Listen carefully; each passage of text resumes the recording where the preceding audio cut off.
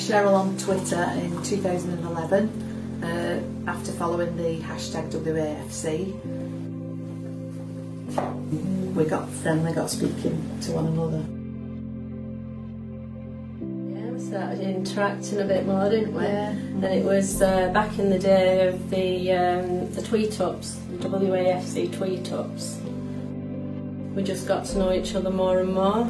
Um, we realised we're like the company. Yeah. Yeah. And our friendship's grown from them really Yeah. to going to home games and away games. I think we don't miss very many now, do we? No, that's what we don't start. No.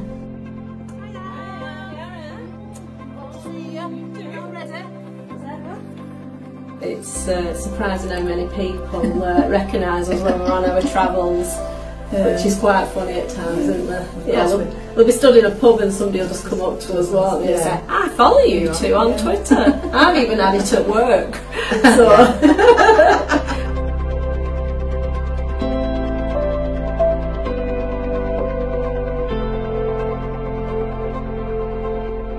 Favourite Wigan Athletic memory? Um, I think it has to be uh, the 11th of May 2013.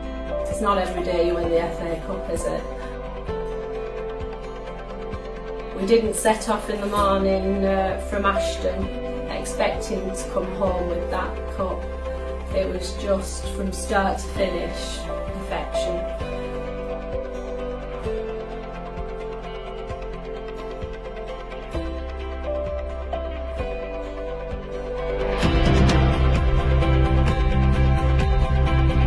favourite with an athletic memory was the promotion to the Championship from League One. It was just, just a big party atmosphere. Uh, even though we lost that game, that didn't put a damper on the day at all. It was a fantastic day.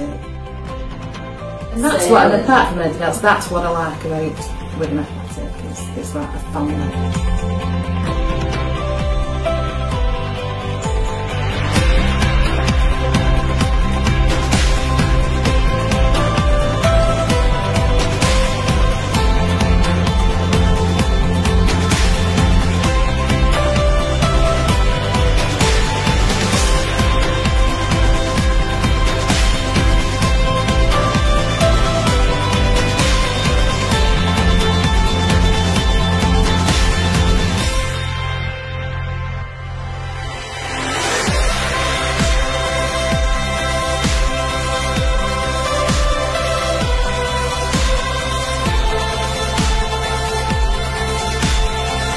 It's it's easy to support Wigan in some ways, and in other ways, maybe not so much at times. But but that's what's best about it, you know, through thick and thin, and it's a special club, isn't it? Yeah, Yeah. a special day. Special club with special people.